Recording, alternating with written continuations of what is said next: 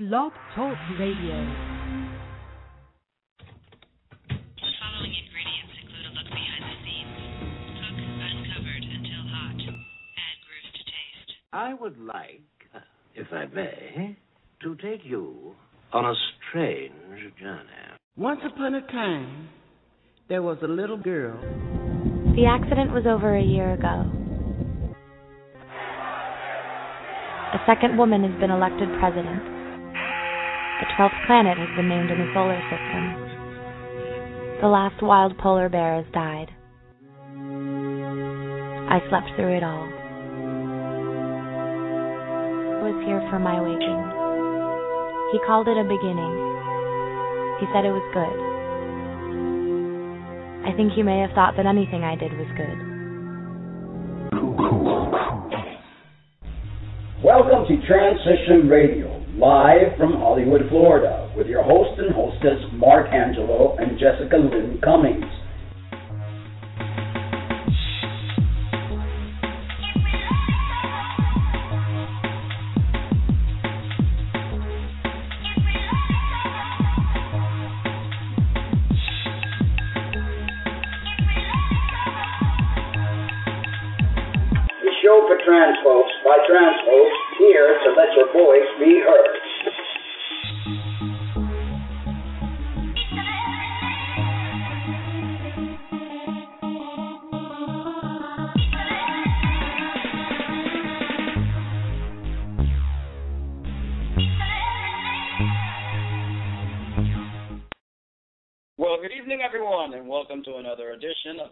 Radio. Today is Friday, and not only is it a special Friday for several reasons, it's Friday that my baby girl was born 39 years ago, and she's going to get me for giving out her age. But anyway, 25 years ago. it's an amazing day, and uh, I gave her several gifts. Not only did I help get rid of her extra parts and bits, gave her a little bitsy, a little bundle of joy. So she's a mommy now. And I'm complete and whole. Yes, I'm a- I'm a fam, uh, housewife. yes, Um, and a mommy. and a mommy. It's all in the same day. Wow. And did you want to give a special And shout out to all? absolutely, I do. I wanted to give a special shout out to everybody that has sent me such wonderful birthday wishes via Facebook and other avenues. And uh, I just want to thank everybody out there for thinking of me on this day. We feel the love. We love you guys as much as I love you all. Before we bring on our guests, we want to thank our sponsor. thebreastformstore.com. They have everything you need for your cross-dressing and transgender needs. Visit the website and tell them Transition Radio sent you. Well, today we are interviewing Leland Kolbert. He wears several different hats and is 54 years of age, and therefore older than most of the guys he sees transitioning. He quotes, I'm not certain where I want to land, but I know I feel much more comfortable in my body now that I've had top surgery. I believe I am accustomed to living my life as me, and the missing link has now been removed my breast. My wife and I run a recovery center for guys having top surgery here in South Florida. The inspiration for New Beginnings Retreat came just a few days after I had my surgery with Dr. Garramone. We were listening to the stories of the people who were having difficulty navigating the transportation, hotel stays, and general circumstances surrounding the journey for their top surgery, pre-surgical and post-op trips. This was compounded significantly for travelers from out of the U.S. So the plan was to put together a business plan, and we sat down and spoke with Dr. Garramone, and both he and his staff encouraged us wholeheartedly and even agreed to recommend us as their number one choice for stay. I do want to make it clear, he quotes, that we are not directly linked with Dr. Garramone's office in the business sense. We are two completely separate businesses, but we do provide services only to his patients. I also feel that having 25 years of nursing experience provides a lot of comfort to parents of young patients, especially those traveling from abroad or by themselves. We make it possible for patients of Dr. Garramone to venture on this journey, even if they are doing it as a single individual. And now, welcome to our show, Mr. Leland Kolbert. Hi, Hi, good evening. Thanks for having me. Thank you for being on our show. Absolutely. Thank you. You know, I had surgery back in 2003, and I would definitely would have benefit from a place like yours. And I think you're doing a great service to the trans community. So Thank you. We really enjoy it. It, uh, it has given us the opportunity to meet some very wonderful people. I'm sure it's very rewarding to, uh, especially the young transgender men who who come from out of state or even out of the country and feel that they could find a safe place to go and they're going to be taken care of by wonderful hands of yourself and your wife, and you are a nurse, which is an amazing thing because you know what you're doing. So it's it's a great great idea that both you and your wife had. Absolutely. So, Leland, tell us how New Beginning Retreat got started. Well, it was kind of like the intro. Um, I had been looking for a long time. I've been really unhappy uh, having breasts since I was the age of 12. Uh, I got uh, for my 12th birthday. I started my cycle, got glasses and breasts, so it was kind of a downer birthday.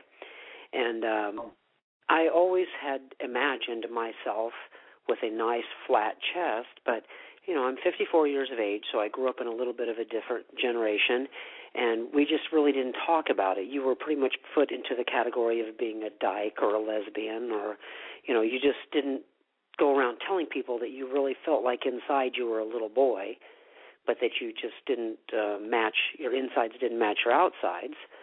So uh, I, I looked for several years. I was in the nursing field, and it was always about breast reductions and it wasn't until uh, about 10 years ago, eight or 10 years ago, I actually, I, I really didn't know that you could uh, have top surgery and have a chest that looked like a, a man, uh, a man's chest. So someone uh, told me about it, and then I was kind of nervous about getting it done at my age, and you know, I kind of just, and, and there was financial uh, obstacles.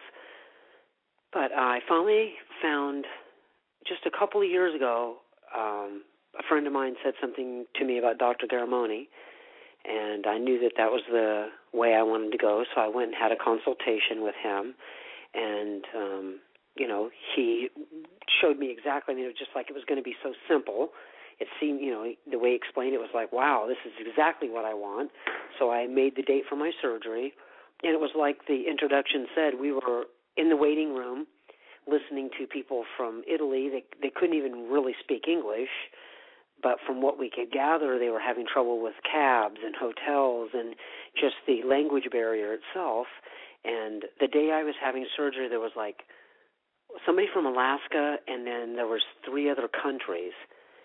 And we thought, you know, it must be terrible to try to navigate all this stuff. And so I'm a little entrepreneurial in some ways. I mean, I always like to think about new business ventures. So while I was recovering my seven days post-op, I was thinking, geez, I I'm you know I'm looking for something to retire into too, a business that I would really love without actually being back in the nursing field. So we started shopping around, put a business plan together, and found what we thought was the ideal place.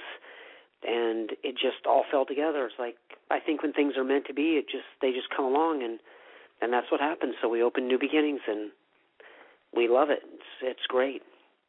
That's awesome. And let me ask you, since you were talking about top surgery and you having your own, what did it feel like when when you finally achieved it and that happened? Um, I just felt like me. I, I, I'm a little different than some of the guys. A lot of them are on testosterone and some different things. And I did try androgel a little bit after I had my surgery, but uh, for me, I'm already postmenopausal, so it had some different effects that I wasn't happy with, and I didn't want to lose my hair because I earned every gray hair on my head, so I didn't want to lose my hair, and um, it just didn't do anything for me, so I, I stopped taking it. But I remember the day that I had the surgery, they you know, they drove me home. I was still really groggy, but we had a big mirror on the living room wall, and I stood in front of that mirror holding my little "It's a Boy" balloon because they had bought me a little balloon that said "It's a Boy," and I was Aww. still uh-huh. pretty groggy and everything. But I walked up to the mirror and I just thought, "Oh my God!" For the first time in my life, I actually look what I feel like I'm supposed to look like. I used to always get dressed and and it would be like I would see my face and I was okay, but then I would look at my chest and I would think it was just so, you know, it didn't fit. And for the very first time, even with all the bandages on, I thought, "Oh my God, I finally, I finally fit." Yes, I know that feeling. so let me ask you, what do you offer that no other place does, and how has the perception been transmitted in UC facility been? Well, we offer a safe, friendly environment. Uh, I think that that's very important, and we also offer the opportunity to go through your uh, surgical recovery with others sharing the same experience.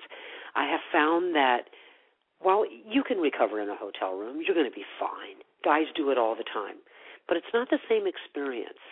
Uh, you're not confined to a hotel room. We have a beautiful pool area here.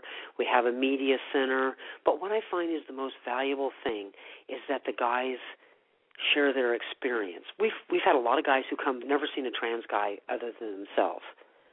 Uh, we've had patients come, their families have disowned them. They don't want anything to do with them. We, you know, we give guys the opportunity to come by themselves. We had a guy come from Germany. He was at the surgical center. He didn't know he couldn't come by himself. He was there to have his surgery that day, and the surgical center said, "You can't have it. You don't have anyone to drive you home." They called us and they said, "Would you take this kid in?" I said, "Sure." We went down and picked him up. We moved his things from the hotel to here. Um, I do have 25 years of nursing experience, and while I'm not really um, doing this job in the capacity of a nurse, I'm not, you know, I'm not um, actually doing nursing skills here. I think that parents that are sending their kids from, especially from overseas and, and even within the U.S., they feel much more comfortable knowing that there's a competent uh, medical, someone with medical experience, um, you know, to be there with them. And I think the last thing is, is that we can give you a lot of little tips for your recovery process that you wouldn't normally or typically think of if you were staying in a hotel. And we also have all of the little simple things like you don't realize all the things you need when you're in a hotel that you have to run out to the store for. But our house is already completely staffed with all that, uh, stocked with all that. So um, it's much, much more convenient.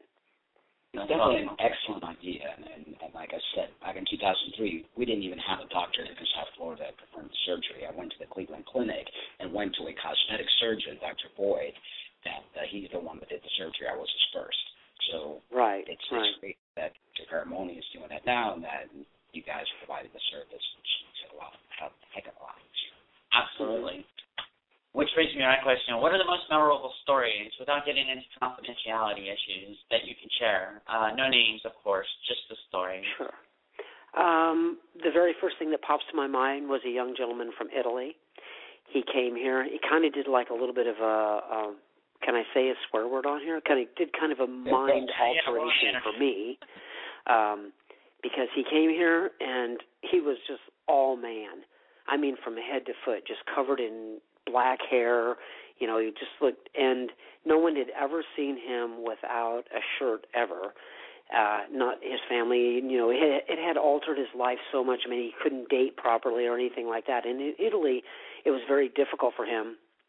And he came here, and um, he allowed me to pre-surgery see him. But when he took his shirt off, it was, it actually kind of blew me away because here was this guy in this uh sports bra but it it just I don't know I just wasn't prepared for it. Even me and I'm very liberal and have seen more things you know I always say if you have something I haven't seen you should be in the Guinness Book of World Records. But um you know it just totally threw me off. And he was so introverted when he came here. And after his surgery he just blossomed into the most amazing extroverted guy. He was walking around the whole post-op, post-surgery. He was walking around showing everybody his chest, beaming from ear to ear. And he just always sticks in my mind. He stays in touch with me all the time from Italy and writes me on Facebook and tells me how much uh he appreciates new beginnings and when his aunt was here his aunt was here with him uh the people across the street had a big party and and she walked outside to smoke a cigarette and there was a big three foot wine bottle and she thought it was a Molotov cocktail bomb and she came running into the place screaming La Bamba, La Bamba and I was thinking, Oh my God, the cultural differences are so you know, we get the opportunity to meet people that have such things that you wouldn't even think about. You know. And she actually literally thought the neighbors were setting off a bomb over there, which kind of petrified her. But um that was uh, some of the people. We have uh, a lot of people from Portland. They made a. They actually made a video. If you go to our website, newbeginningsretreat.com, they actually were having a contest. So the two two guys from there made a video that's really outstanding because we're giving away seven free nights at New Beginnings for the best uh, video that people turn in. So that was pretty interesting. Um, like I said, we had the guy from Germany who wasn't able to have his surgery. We've had um, we we rescued two people out of a hotel down in Fort Lauderdale that were miserable. Um, the kid from Pennsylvania that had never seen another trans guy, and he came here, and he was just amazed. He was like a kid in a candy store, asking everybody all the questions. He was also the kid that the duck chased. Every time this guy walked outside of our house, we have a, a duck outside. I don't know why he was attracted to this young guy, but he would chase him all around the property. He couldn't step foot outside the door, not in a negative way. I think he was very attracted to him, actually. So, um, we've just had uh Christmas was great here. We had uh patients here at Christmas. We had a huge Christmas tree and a big Christmas dinner. We cooked Thanksgiving dinner. Uh, a lot of kids don't have family to spend holidays with, and I find that extremely sad. But and I I think for my last story, one of the things that touched my heart the most was I had a young gentleman from Iowa, which is where I'm from, and when he came here, we really hit it off. And he got in touch with me not long ago. He's engaged to his uh, fiance. He's engaged now, and he asked me if I would come to the wedding and I said, "What do you what do you need?" Because his father will have nothing to do with him. And I said, uh, "What do you need? A best man?" And he said, "No, I need a dad." Um, so very touching stories, and that's got to feel really good. And, and yeah, like it does. Really something that's really worth. Tell us a little bit about you. How was your transition, Beth? Well, I I'm not sure. You know, I got I, I got a lot of uh, not a lot, but I got some flack from the uh, trans community when I used I did a uh, podcast for a radio station up in Ohio, and I talked about my pre-surgery and then post-surgery, and I talked about my transition.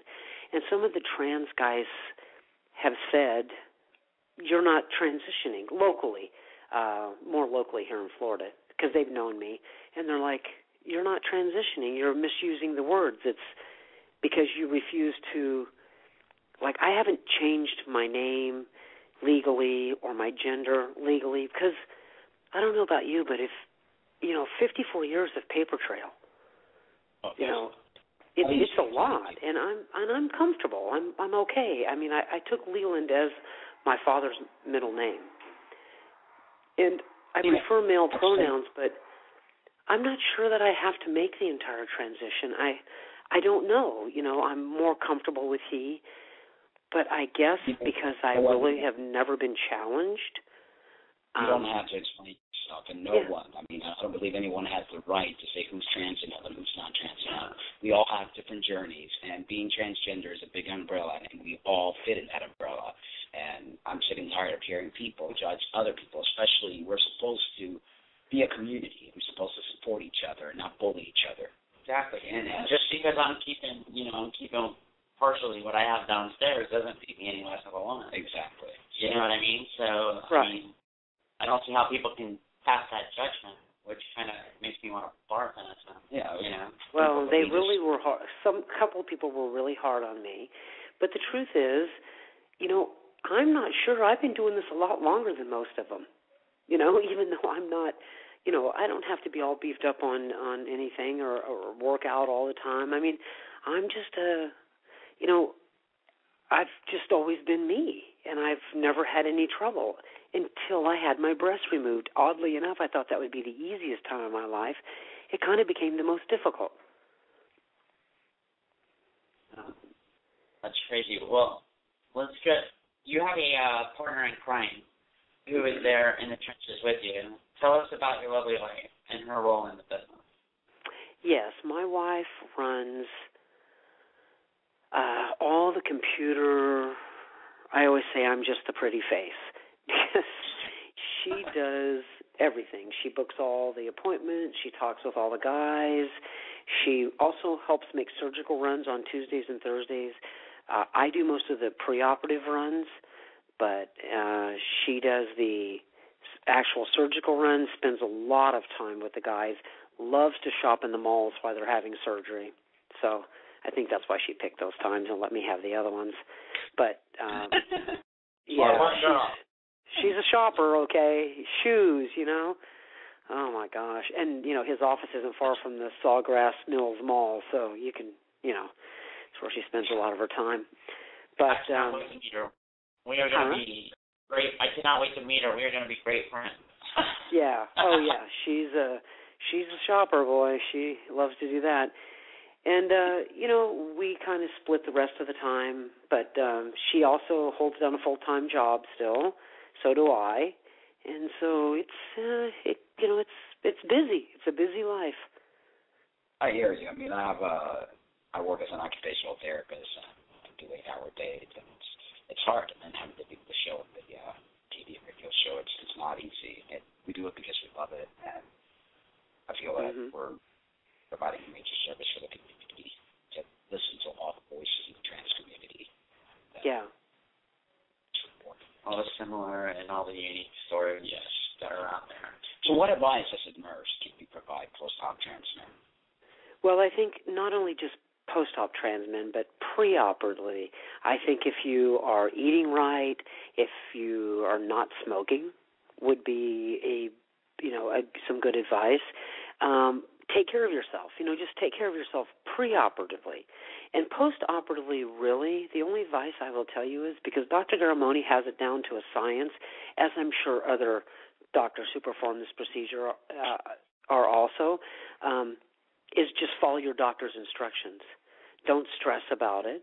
Just follow your instructions and um you know, eat right and take care of yourself. And actually the surgery it isn't it isn't um bad to recover from. I mean, I didn't even take a pain pill. So maybe just cuz I'm a tough old bird, you know, but I I didn't have trouble with it at all. So I, you know, I just have to on that. I didn't have. I mean, I had a hysterectomy. I said I have to concur on that. I think the, the top surgery isn't that bad at all. I had both top and bottom at the same time. Hysterectomy. The hysterectomy killed me, but I Oh, top yeah. surgery not at all. Absolutely. And you know, and I would just tell guys just enjoy your new beginning, you know, just just start and uh, you know, relax and uh, follow doctor's orders. And it's an amazing name, New Beginning, because that's what it is. You know, it's like you've been given a new chance in life, a new beginning. So that's a wonderful name you chose for the business, by the way. Very good. name. That's the hardest part of a business. Oftentimes, the hardest part of a business is finding a name that fits you. Absolutely. I Yep. definitely concur with that one. Speaking of the name, um, what are your plans for the future with New Beginnings Retreat? Well, we're just going to keep on uh, problem solving, trying to uh, take people's suggestions and work with them, tweak the business until we get it exactly like we want it. Uh, we're going to continue to provide a safe, stress-free recovery environment, and we're going to just strive to improve as time goes by. I uh, I listen to what people say. Um, I want people to be comfortable and to be happy. Uh, if you're looking for a five star hotel, this is not your place. And, uh, you know, we can't stress that enough. It is a beautiful place, but it's not room service every day. We're not up there making up your beds every day. Uh, however, I'd be glad to make up your bed for you, or change your sheets for you, or assist you with anything that we can. But um, you know, people come here; they still make their meals. We have a beautiful kitchen. Uh, we help the guys that are here by themselves. But if you have a companion, you know, you do your own dishes, well, or your companion does your dishes. It's more like a bed and breakfast communal living than it Right. is a five star hotel. And we're just going to keep listening and keep trying to improve things as we go along. Well, that's actually a good a good um a good platform as well because you know me I just had my partial lower surgery on Friday and you know I still even the day after to be getting up and being mobile is the best thing you can do afterwards and you know you know if you lay around and talk we all know that it's all it's going to do is make it worse so It helps Sure. speed up the um, recovery process, like Mhm. I've been doing via mobile. Well, sure. And like I said, we're not here to give actual medical advice. When someone has something that needs to be addressed medically, I still have them, even if I know the answer, I still have them call Dr. Garramone because that was something that I said I would do right from the beginning. I'm not taking medical responsibility for someone. However, I can Right. certainly make the recovery process much, much stressful and uh, easier for someone. Well, definitely, it's good to know that there is someone with medical knowledge there, and uh, Sure. if something were to go wrong, you know the steps to take and to um, help them go to. Well, sure, that usually alleviates most of the problems before they even start. Well, thank you so much for being part of our show. We actually would love to have you on the TV show and um, show some of the videos you were talking about, and so that people could actually see you, the wife, and maybe even videos of the facility, and help you get out there more. Uh, our shows Sure. reach internationally, and it's uh, I believe that once people know that there's a place like this, you'll definitely be getting a lot more business.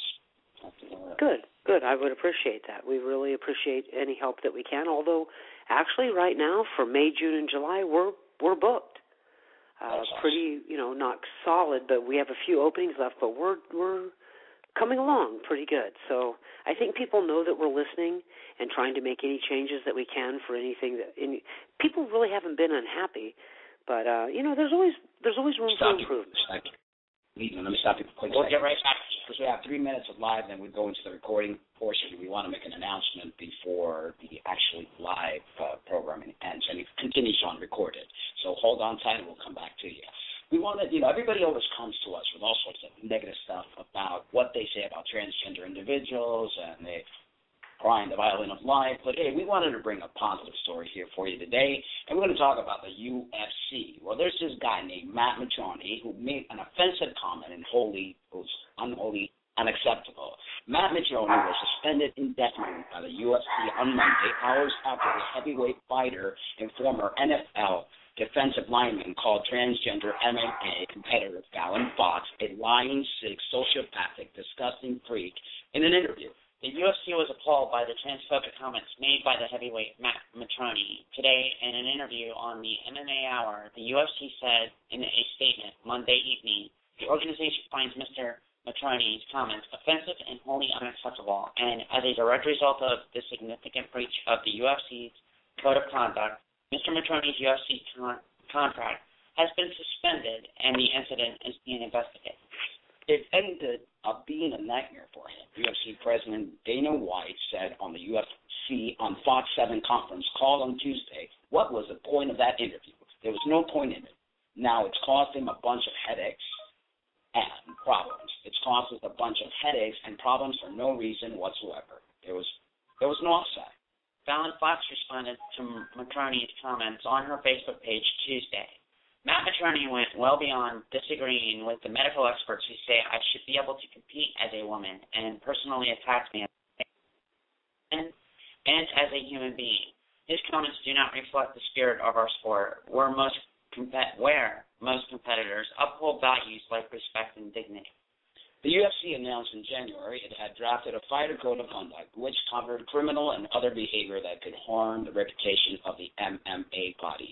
The UFC is a friend and an ally of the LGBT community and expects and requires all 450 of its athletes to treat others with dignity and respect. So we want to say shout out to UFC and thank you for supporting the trans community. You see people, there are individuals out there and organizations that do support it. And it's good to see that they are supporting and backing and having a zero tolerance for BS like this guy. Exactly, and good for you, Fallon Fox, for fighting Absolutely. and for being such a great athlete. All right, we're back to you, my friend. Hey, Leland. Hello. Thanks for uh, holding on there for a minute. Oh, sure. Yeah. The show is 30 minutes live, and uh, although it goes on for an additional 15 minutes recorded if we needed to, but the live listeners lose completely the uh, the actual broadcast. So Uh-huh. we'd like to make those important And announcements. the recorded is the, Sure. the end up on demand. Yeah, then uh, on demand they get to listen to the whole show completely. So Absolutely. Okay. So, any- anything else you wanted to add or say, or No, I think that's pretty good. I need to get with you now that the last weekend was my event, you know, so I was like everywhere and I just reeled it in. Like we just got back from doing a contract and stuff in order to run here uh today because I wanted to get on the show, but um I also want to get you, you know, square up with you on the sponsorship, whatever else. I I know there was other things I'm supposed to be taking care of, but I haven't done it yet. okay. I appreciate it, and would love to have you as a sponsor because we believe exactly what you're doing is an awesome thing. I would like to promote those individuals that are helping the community. You definitely Sure. are, and more people need to hear about what you're doing. Absolutely. Sure, sure, yeah. Um, so we'll figure that out, and I'll make a payment to you. Whatever. I'll, I'll, I'll go look at the stuff now. I really, honestly, only looked at the bare minimum to get this done today because, uh, like I said, I didn't even get home from the event till like Monday night, really late, and then I've been working all week. So I'll, I'll get in there and start looking at what I need to do. All right. Not a problem. And we'll also give you a call here. Yeah, we definitely have to uh, go visit you, check out the retreat. I hear you have a furry friend back there. We try to keep ours quiet, and then it was like, okay, his dog started Yeah. barking. yeah, just we got our have two. Yorkies here. They're called therapy dogs. To some, it's, Yeah. they're they're really good. So the the guys usually really like it, especially the single guys. Yeah, so definitely Yeah. pets are very therapeutic. I and we just got our baby. She's a big Chihuahua. Mini Pin Min. Yes, they Oh. think she's a Doberman Pinscher large. Oh yeah, um, yeah, I know that feeling. Okay, so just get in touch with me and we'll figure out what I need to do. I'll give you some money for sponsorship and we'll go from there. All right, take care, and I will send you the link uh, to the show so you can listen to it live. All right, everybody, thank Okay, you for thanks. tuning in again. Thank you Okay. for tuning in again. Another great show. Happy birthday, Jessica, my love. Thank you. And get to enjoy many, many more. Yes. And our little baby, and uh, life is good. Couldn't ask for anything more. More could for all of us? Mhm. Well, guys, we love you. But remember to always love yourselves too. Good night and be well.